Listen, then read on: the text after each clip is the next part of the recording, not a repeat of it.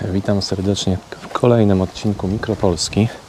Dziś jestem w Sierakowie, w województwie wielkopolskim, w miejscu niezwykle urokliwym, bo jesteśmy na południowych rubieżach wielkiej, przepastnej Puszczy Noteckiej. Jesteśmy na Pojezierzu międzychodzko-sierakowskim. Jesteśmy w krainie stu jezior. Jesteśmy w okolicy ukształtowanej przez morenę czołową, a więc mamy do czynienia z różnymi pagórkami i wzniesieniami. A few moments later. A w końcu jesteśmy w bardzo urokliwym, niewielkim miasteczku, które ma całkiem ciekawą historię i mimo swojej bezpretensjonalności jest niezwykle urokliwe i mnie zauroczyło na tyle, że miesiąc po pobycie w tymże mieście postanowiłem do niego przyjechać ponownie.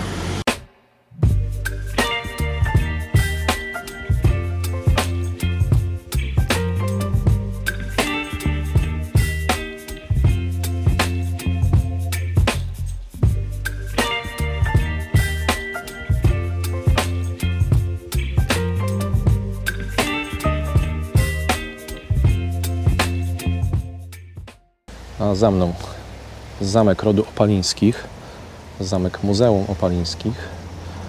Jest to południowe skrzydło zamku rycerskiego, odbudowane kilkanaście czy też kilkadziesiąt lat temu. Podobno ta odbudowa spotkała się z, z dużą krytyką i mieszkańców, i ekspertów, i historyków, bo jest odbudowana nie do końca zgodnie z oryginalnym kształtem. W środku znajduje się muzeum, całkiem ciekawe. Wiem, bo byłem. Serdecznie zachęcam do odwiedzenia. Taką największą atrakcją są sarkofagi, sarkofagi rodu Opalińskich. A drugą atrakcją są często odbywające się tam różnego rodzaju turnieje rycerskie albo różnego rodzaju treningi bractw rycerskich. Jak ostatnio byłem, to rzeczywiście widziałem, jak panowie uderzali się e, kopiami e, średniowiecznych mieczy.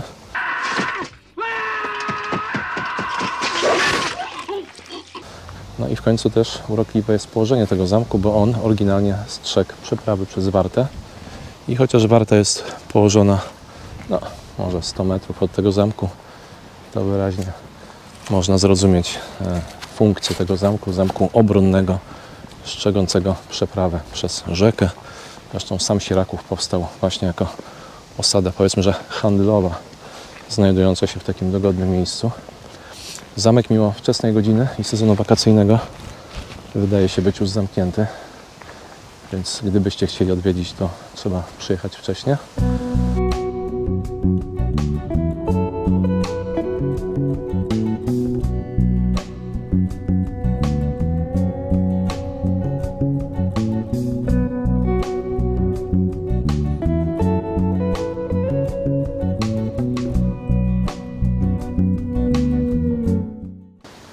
Zamek nazywa się Zamkiem Opalińskich, bo to Opalińscy byli właścicielami e, Sierakowa i to im to miasto zawdzięcza najwięcej i to za czasów rządów, czy też bycia własnością tegoż rodu magnackiego Sieraków rozkwitał, no ale nie byli to jedyni właściciele tego miasta, bo miasto od swojego założenia, od wieków średnich, lokacja przed 1388 rokiem, Sieraków był miastem prywatnym, miastem szlacheckim.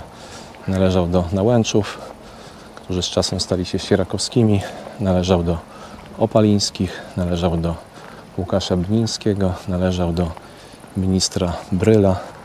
I taka ciekawostka, że należał również do rodu Leszczyńskich, a dokładnie mówiąc do e, Marii Leszczyńskiej, czyli córki Stanisława Leszczyńskiego, dwukrotnego króla Polski, która była bądź co bądź małżonką Ludwika XV przez lat wiele, a więc wniosła ona sieraków e, do majątku króla Francji. Zresztą w tym majątku Marii Leszczyńskiej, jej męża, miasto długo nie pobyło, bo zostało spieniężone zmiankowanemu już Brulowi, który był ministrem na dworze Augusta III.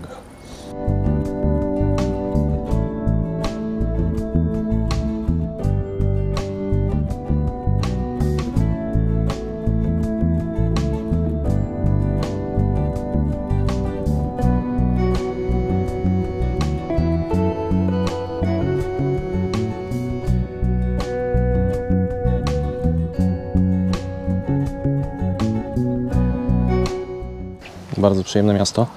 Rynek jest akurat, szczerze powiedziawszy, taki przeciętny. Gdybym miał po rynku tylko i wyłącznie oceniać sieraków, to nie byłby to jakiś rewelacyjny wynik. Natomiast e, rynek jest ciekawy z kilku powodów. Akurat nie z powodu architektury, bo architektura rynkowa i przyrynkowa jest raczej niskopienna i niewyróżniająca się, ale, ale z ciekawostek rynek, a dokładnie mówiąc plac Powstańców Wielkopolskich jest po pierwsze zielony. No ktoś w Sierakowie chyba nie ma szwagra, który zajmuje się betonowaniem przestrzeni publicznej i mógłby takie zlecenie przyjąć, no bo rynek jest brutalnie zielony i w takie ciepłe dni jak ten jest oblegany przez e, starszych mieszkańców miasta, którzy mogą tam usiąść, wypocząć i nawet znaleźć troszeczkę cienia. Brzmi to sensacyjnie jak na standardy polskie. Druga ciekawostka rynku jest taka, że e, przy rynku znajduje się, jak dobrze liczę, 4 albo 5 sklepów z zabawkami. Tak się zastanawiałem, z czego to wynika i nic mądrego nie wymyśliłem, więc może jakiś mieszkaniec Sierakowa mnie oświeci, skąd na rynku i w ogóle w Sierakowie tyle sklepów z zabawkami. Myślałem, że może jest to efekt jakiegoś wysokiego przyrostu naturalnego, ale w Sierakowie przyrost naturalny jest ujemny.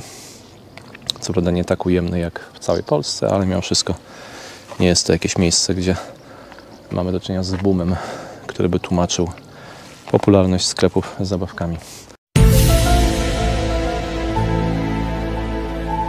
No a trzecią ciekawostką sierakowskiego rynku jest ukryta na tym rynku kapsuła czasu znajdująca się obok pomnika upamiętniającego powstańców wielkopolskich. Mieszkańcy Sierakowa posiadają swój własny słownik sformułowań charakterystycznych dla regionu i używanych głównie, ale pewnie nie tylko w tym regionie. A wśród tych wyrazów wymienić można takie słowa jak heksa, czyli określenie złośliwej, wrednej kobiety, od heksen, czyli jędzy, bardzo ładny wyraz, tak swoją drogą, pupka, szmaciana lalka, szneka z glansem, jeżeli dobrze pamiętam, czyli drożdżówka z lukrem. No i moje ulubione słówko, typowe dla Sierakowa, czyli wyspa Tumidai.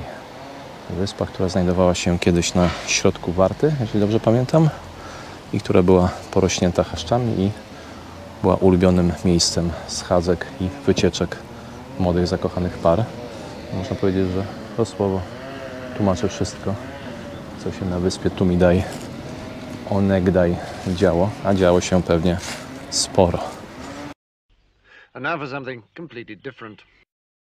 Dawny kościół poewangelicki, wybudowany pod koniec wieku XVIII dla sierakowskich ewangelików.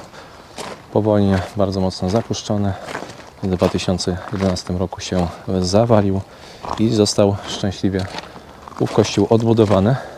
Wygląda imponująco i wygląda przepięknie, bo jest to piękny, wyremontowany, świeżutki, bielutki szachulec, a więc mój ulubiony, nie wiem jak to powiedzieć, styl architektoniczny, gatunek architektoniczny, rodzaj zabudowy. No, wiadomo o co chodzi. Jak widzę szachulec, to moje serce chce wyrwać się z klatki piersiowej. Kościół poewangelicki przeznaczony na cele edukacyjne, dokładnie mówiąc jest to biblioteka publiczna. Chyba niestety zamknięta, e, ale mimo wszystko z zewnątrz robi piękne wrażenie, naprawdę uwielbiam szachulec i ten sierakowski szachulec niezwykle raduje moje serce, więc pozwólcie, że sobie go trochę pooglądamy.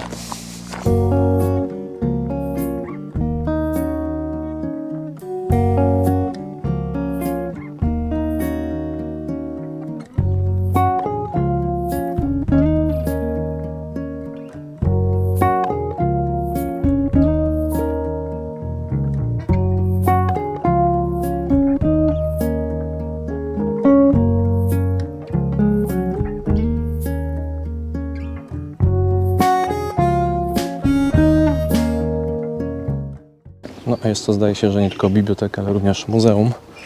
No, Ale coś mi się wydaje, że jestem trochę za późno, żeby eksplorować zbiory biblioteczne oraz zbory, zbiory muzealne, więc obiecuję, że przyjadę tu ponownie jeszcze raz i uzupełnię Mów materiał o dodatkowe rzeczy.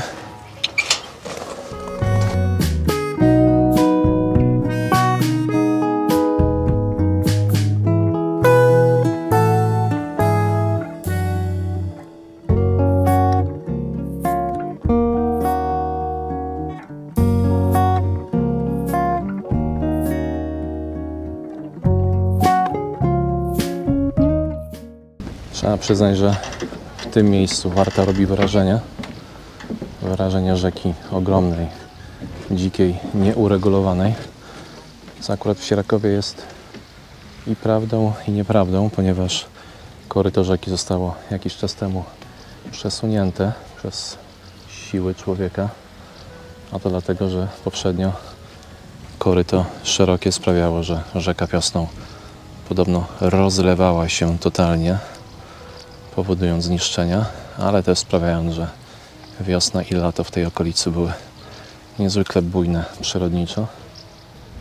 A teraz rzeka jest przesunięta i podobno już nie wylewa, ale też niestety strata jest taka, że jest mniej dzika. Jak byłem poprzednio w Sierakowie, a było to ledwie miesiąc temu, no to panu, którego wynajmowaliśmy lokum, opowiedział mi właśnie historię o tym, jak to Warta w Sierakowie co roku na wiosnę wylewała. I lat temu kilkanaście, a może nawet i kilkadziesiąt postanowiono przesunąć koryto rzeki kawałek dalej, ucywilizować je, włożyć je w ramy, włożyć je, przełożyć, mówiąc trywialnie, ową rzekę w koryto e, węższe, ale głębsze, bardziej uregulowane, takie, które zapobiegnie wylewaniu rzeki.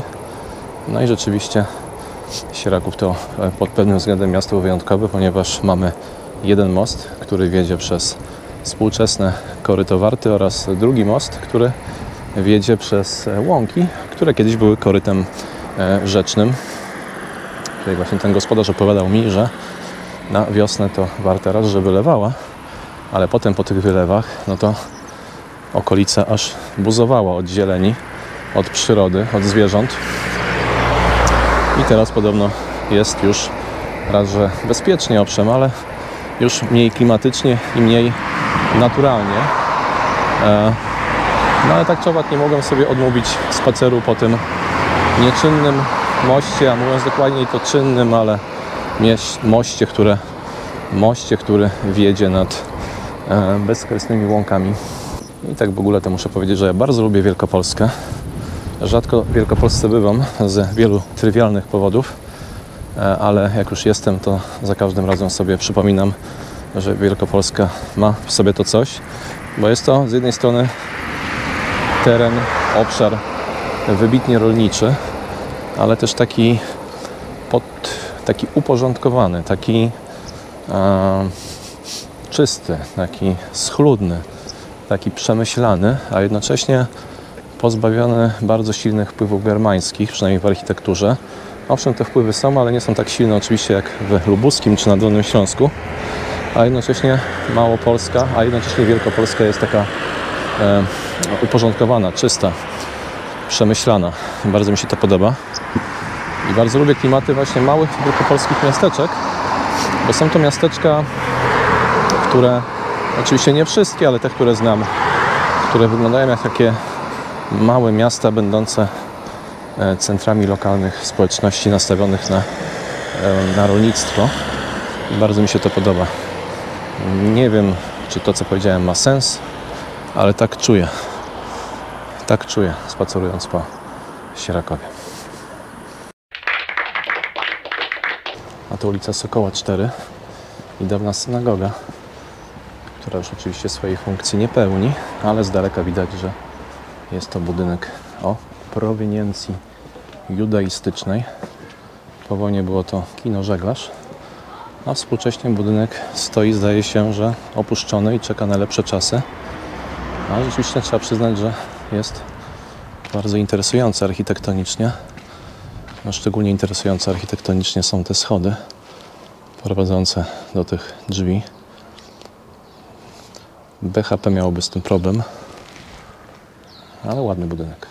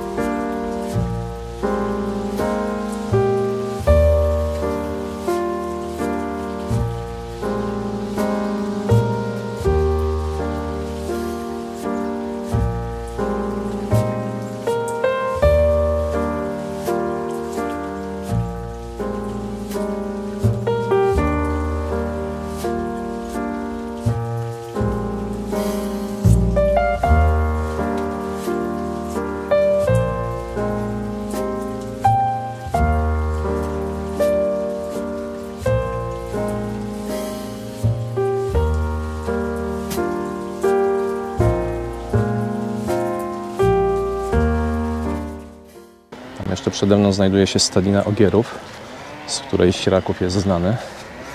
Ale powiem szczerze, że ową atrakcję zostawię już dla Państwa. A few moments later. No dobra, jednak przyszedłem do stadiny ogierów, ale nie ma tu nic ciekawego, mówiąc brutalnie.